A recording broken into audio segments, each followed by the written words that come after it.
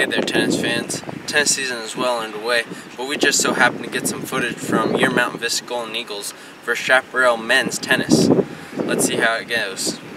Hi there, welcome to MV Tennis. We got Vista men versus Chaparral men in the doubles. Let's get underway. The serve, and he returns it back, and a point by MV. And then this is a good rally here. They keep going back and forth until MV will eventually win this one because they're the better team. And we got the next next point here. Chaparral with the serve. Easily returned and boom! He misses it. What was that? that was just bad play. And MV hits it over their heads.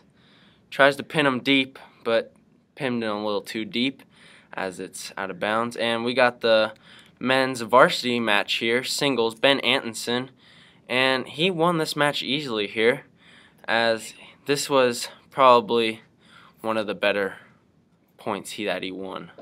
And let's set down to an interview. Hi there, I'm here with Ben Antonson, uh, Vista tennis player, and uh, Ben, what were your expectations going into the match today?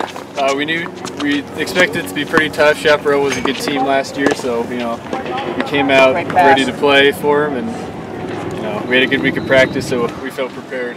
Yeah, well, it didn't seem like Chaparral was doing good today after you beat him 6-0, 6-0. That's a double bagel, folks. So, what were your thoughts after? Um, I, feel like I played pretty well. I was real aggressive during the match. Um, he had a pretty big serve, so I had to get my returns going well. But yeah, overall, pretty happy with it. All right, folks. Ben Antonson. Thanks, Ben. Thanks.